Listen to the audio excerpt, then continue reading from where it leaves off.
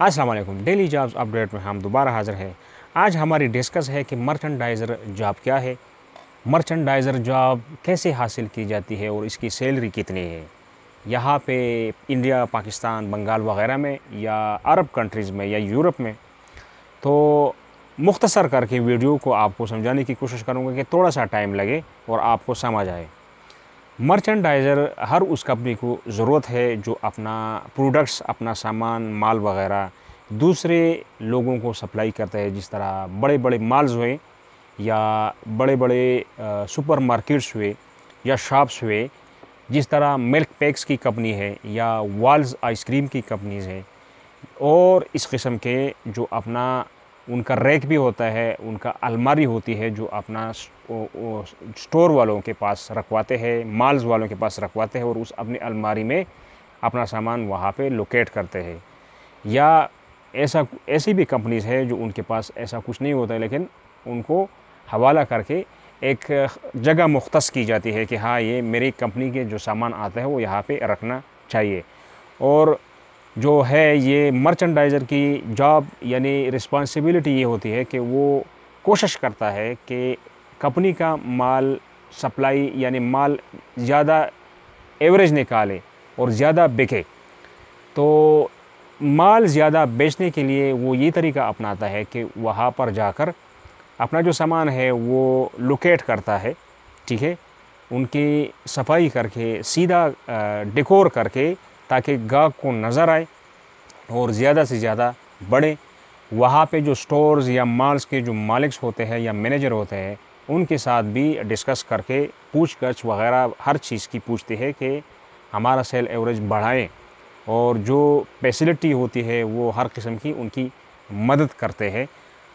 इसके बाद दूसरा इनका जो रिस्पॉन्सिबिलिटी है कि सफ़ाई सुथराई, यानी उनका सामान जो है, ऐसा तरीके से रखा जाता है कि सीधा जो सामान होता है ऊपर से नीचे तक वो एक जगह अपना यानी कवर कर लेते हैं या इस किस्म की पट्टी बनाकर सीधा वो अपना एक जगह ऐसा कवर कर लेता है ताकि वो सामान पूरा एक जगह पे नज़र आए लोगों को। उसमें जो कलर्स होते हैं, उसमें जो छोटे बड़े किस्म के साइज़ होते हैं, वो सब गाहक को नज़र आए और कोई चीज़ हमारा बिके ज़्यादा से ज़्यादा। तो ये आपको समझ आया कि कंपनी के लिए ये माल ज़्यादा निकालने की कोशिश करते हैं और अपना जो एवरेज है वो, सेल एवरेज वो बढ़ाने की कोशिश करते हैं। जिस तरह अगर कोई कंपनी है, वो मर्चेंडाइज़र के बग़ैर अगर साल का दो मिलियन कमाता है और मर्चेंडाइज़र की जो रिस्पॉन्सिबिलिटी के साथ अगर वो अपना ज़िम्मेदारी ठीक तरह से निभाए और फिर वो कंपनी तीन मिलियन कमाए तो ये मर्चेंडाइज़र का कमाल होता है कि इनका अपने मेहनत की वजह से उनका माल निकाल रहे तो बहुत इज़्ज़त वाला अच्छा काम है और मर्चेंडाइज़र जो है हमने ऐसा देखे है कि वो कंपनी मैनेजर तक भी जाके पहुँच जाते हैं जब एक कंपनी में दस पंद्रह बीस साल पच्चीस साल लगा के फिर वो मैनेजर की सीट पे बैठ सकते हैं।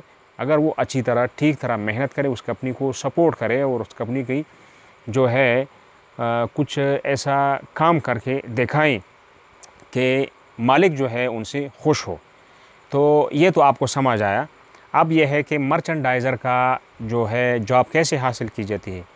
तो सबसे पहले क्वालिफ़िकेशन जो है जिस तरह एम हुआ बैचलर हुआ एमबीए मार्केटिंग में, या रिलेटेड इससे कोई भी आपका डिग्री हो मार्केटिंग में।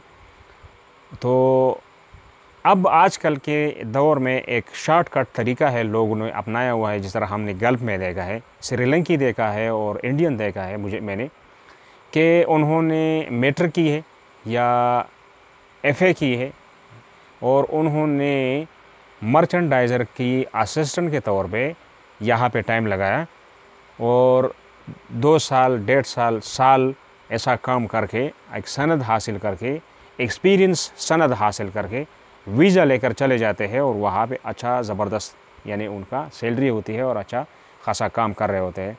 लेकिन जो दो दिहाइयों से, तीन दिहाइयों से जो तरीका है, वो यही है कि डिग्री होनी चाहिए और पहले प्रेश पे बहुत आसानी से जॉब मिलता था, लेकिन आजकल वो भी एक्सपीरियंस मांग रहे हैं।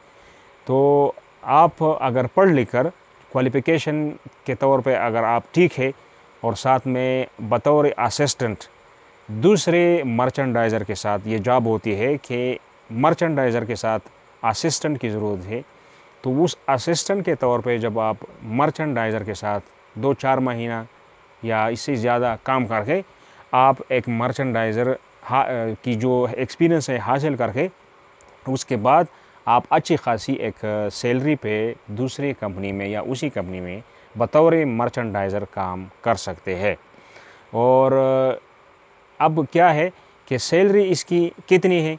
तो हम बात करेंगे आपको गल्फ़ की, जो मुझे पता है, और पाकिस्तान इंडिया वगैरह यहाँ की। पाकिस्तान, इंडिया वगैरह। मैं पाकिस्तान की बात करूँगा तो कंपलसरी ये पैंतीस हज़ार आपकी स्टार्टिंग में ये सैलरी होती है। और एंड जो है नबे नाइन्टी फाइव एटी फाइव जो बड़ी बड़ी अच्छी अच्छी कंपनीज़ हैं जिनके साथ काम कर रहे, ये मर्चेंडाइज़र दो साल, चार साल छः साल, आठ साल लगा के सैलरी 95 तक ये मैंने सुनी है कि इतने सैलरी तक पहुँच जाते हैं। और अगर गल्फ़ की बात करें तो ख़ास तौर पर मैं सऊदीया और दुबई की बात करूँगा जहाँ तक मुझे इलम है। तो इसकी जो स्टार्टिंग है वो चार हज़ार रियाल या दरहम और इसके बाद साढ़े चार हज़ार पाँच हज़ार छः हज़ार सात हज़ार जितना आपका टाइम और एक्सपीरियंस होगा उस हिसाब से आपका आठ हज़ार और नौ हज़ार रियाल या दरहम तक आपकी सैलरी पहुँच जाती है। यूएई, कतर दुबई सऊदिया जितने भी गल्फ़ कंट्रीज़ है। यूरोप की बात मैं नहीं कर सकूँगा क्योंकि उसका इलम मुझे नहीं है।